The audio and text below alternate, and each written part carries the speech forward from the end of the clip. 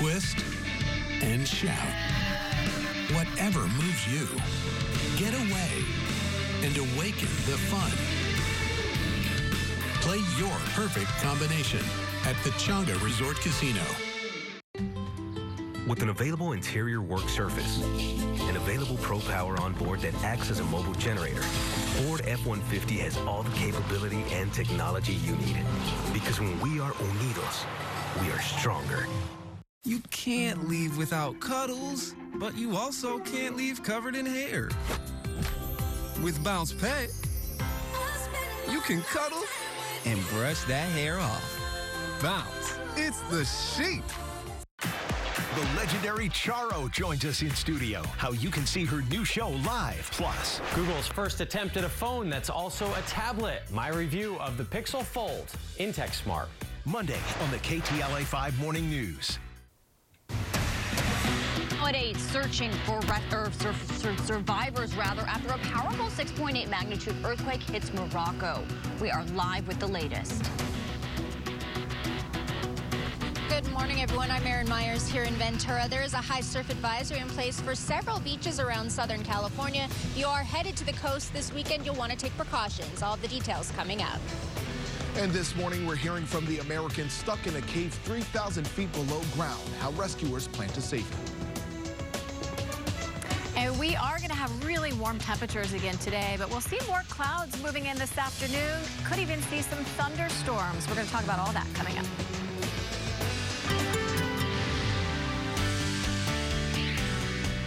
Good morning and welcome to the KTLA Morning News at 8 a.m. I'm Pedro Rivera. And I'm Lauren Lister. We thank you so much for joining us. It's a beautiful morning. The big waves on the coast here, and that's something that, you know, we're going to be talking about. We have Erin out there. Yeah, uh, they look great. A lot of surfers out there this morning. Hurricane Jova, is that correct? Was Tropical Storm Was Jova, yeah. Mm. We have Hurricane Lee, though. Yeah, so we're watching both coasts. Lots of activity, and we will talk about that throughout the morning, though. But outside right now, we do see a little bit of cloud coverage from this Long Beach camera, though. And again, even if you see sunshine now, that will change heading into late this afternoon, early evening.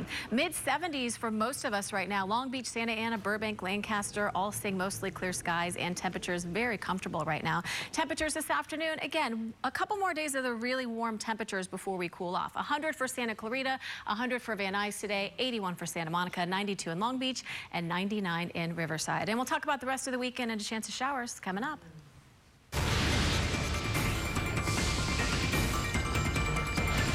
Now to our breaking news overseas. Tragedy strikes Morocco. A rare and powerful earthquake hit the North African nation late last night, thought to be the strongest quake there in more than a century. The full toll of the devastation is still unclear, but officials say more than a thousand people have lost their lives. The 6.8 magnitude quake decimating the ancient city of Marrakesh and other remote mountain villages. Rescue crews are now rushing to save anyone they can from the rubble. KTLA's Megan Telles is here in studio tracking the latest situation. Megan, it's changing by the hour. Changing by the hour. That's right, Pedro. This powerful 6.8 magnitude quake struck shortly after 11 last night. Many people were sleeping at the time. The images coming in from the country continue to show all of the devastation. Take a look. Buildings in the tourist hotspot of Marrakesh crumbling to the ground. The death toll is rising.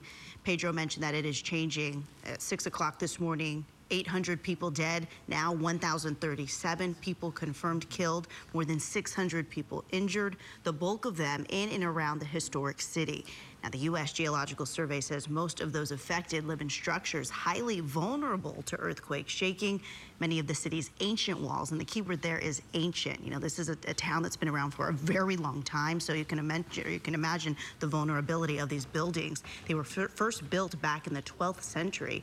Rescue crews are having a hard time reaching some of the hardest hit remote areas, and officials expect that death toll to rise further. You can see in this next video, panicked residents running into the streets after that quake struck.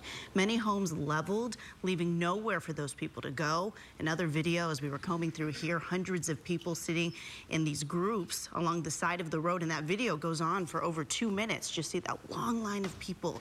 The area already been hit by several strong aftershocks. Experts predict the strength of the aftershocks to be in the high fives, which could cause even more destruction to already damaged buildings. Earthquakes are rare in this area. This was the strongest to hit